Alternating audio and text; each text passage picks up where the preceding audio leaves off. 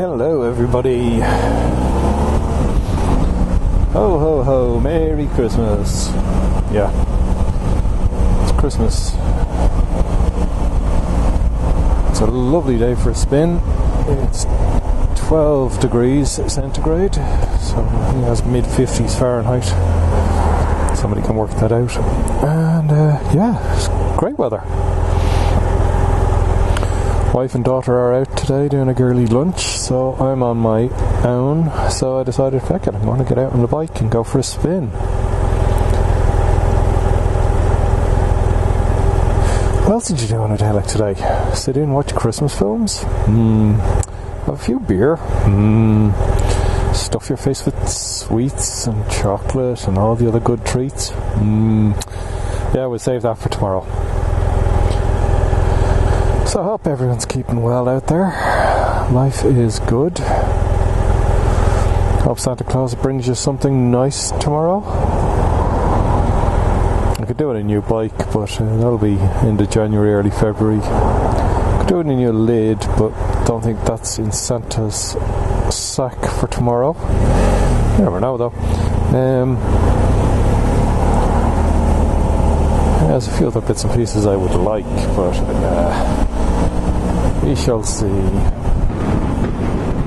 hope he treats you all right and you get what you're looking for. I decided to get out for a spin today and just enjoy the day. It's a cracking day for it. And of course, have to avoid the major traffic points because yeah, it's silly season. Any of the shopping centres and stuff like that. I mean, you'd imagine that the shops are closing down for months, not just for two days. In some circumstances, only one day. So we'll get out, we'll have a spin on the bike, and just enjoy the day. It really is hard to believe how good the weather is.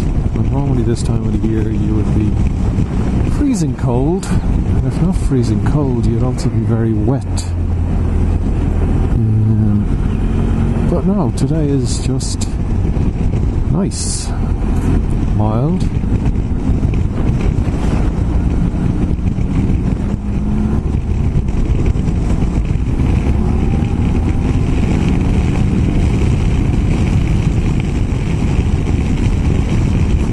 Just a good day to get out on the bike.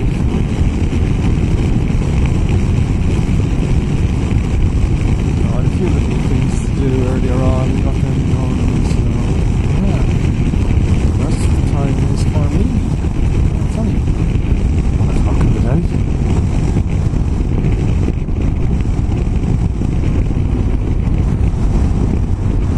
Get off the phone.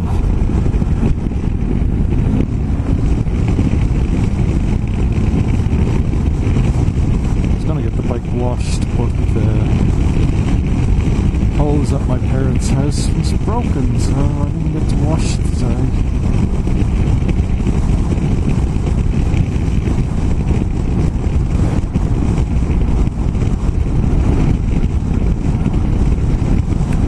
It is looking a and dirty, it's a GS. What do you expect? So I'm still trying to keep track of when my new bike will be here. I'm waiting on a date.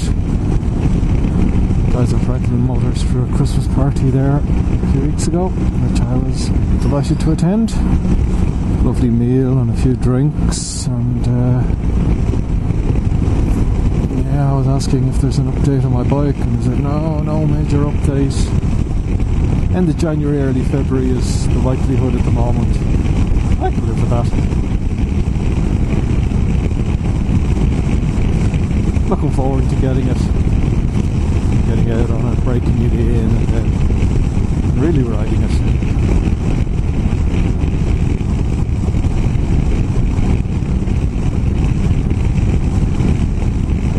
So this will still be my workhorse. Stop. Never understand that. Um, so still be my workhorse. So have to use it for any time I'm going to rugby and stuff like that. But otherwise, the bobber is going to be my main day-to-day commute bike, and I'll hopefully be able to break it in fairly quickly. I might take a day or two off work just to get some time on it, get it used to it, see how it feels see if there are things I would like to adjust, make a number of minor adjustments and see how they feel on it.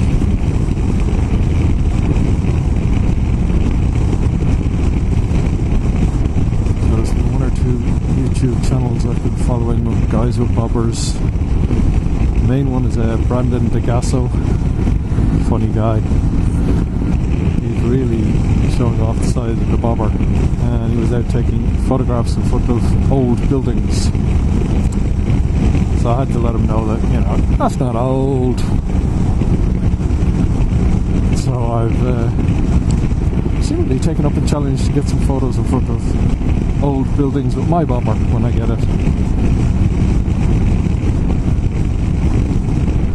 Then goes down to what do you call old? Know, I lived in a house in Laoghaire built in the 1860s. Is that old? Well, yeah. Take it out to places like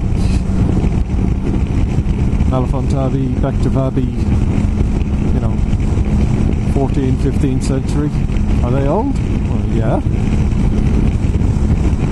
Well, then the ultimate aim is to try and get a photo in front of Newgrange 3200 BC. That old? Oh, hell yeah. Older than the pyramids, older than Stonehenge. It's old. Well, there are things like that that I'll try and do when I get the bike.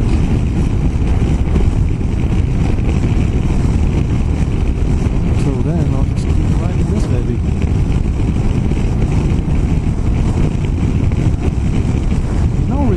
Updates to give you as such. Life is good. Roads are a bit mucky in places. Because the weather's been so good, the farmers have been out in force. Plowing and planting and everything else. Oh yeah, this, this lovely section of road here. You'll be glad it's on video. Down there on the left hand side Here's a pig farm. Doesn't smell the best, trust me.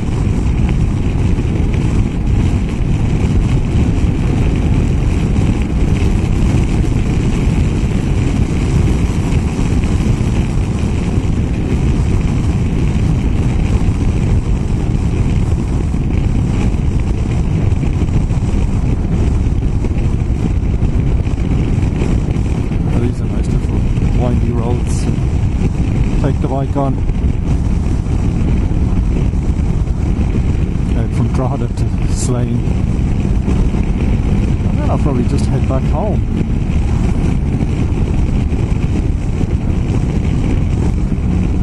But uh, yeah, it be nice when I get the bobber just to take a spin along these roads. So I'll have to, have to watch these corners though. I, I'm not an aggressive person in the corners.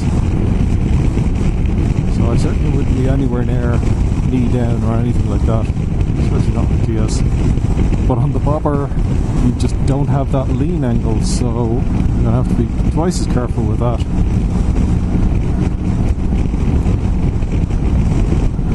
Knowing me and my riding style, it's not going to be a problem. You just never know until you ride it.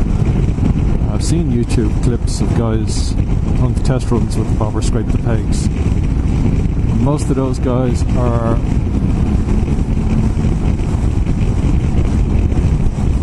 sports bike riders.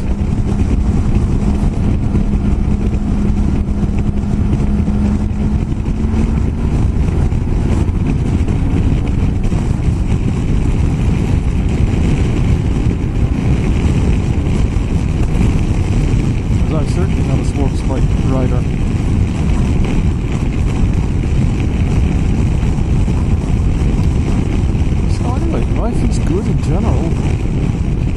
Thinking about more just somewhere set for Christmas, or somewhere set for Christmas. No, it's a bit late now, and we'll struggle on through. Looking forward to the uh, Christmas dinner at Uh, we're having goose this year. We don't we don't really do turkey and ham. It's just uh, we did turkey and ham in her sister's place on Stevenson's Day, so Christmas Day we do our own thing in our own house. It's goose this year. I'm trying to think of all the things we had for Christmas dinner. We did have a chicken and ham one year, which is the closest to we got. Um, we've had venison, we've had lobster, we've had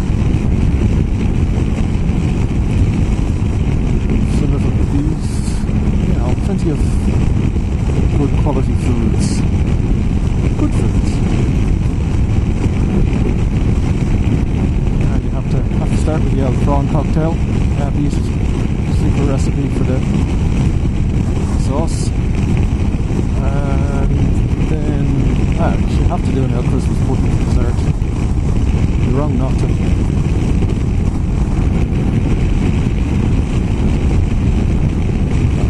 Our Christmas day sorted. Santa, Santa Claus is sorted anyway for the little one, which is the important thing. So yeah, we're, we're good to go. Just, just sitting in the village now. I do like this road. It's a nice, it's a good road to ride.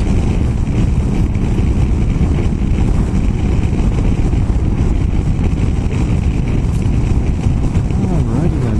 Okay. Hope everyone has a great Christmas, and I'll uh, talk to you in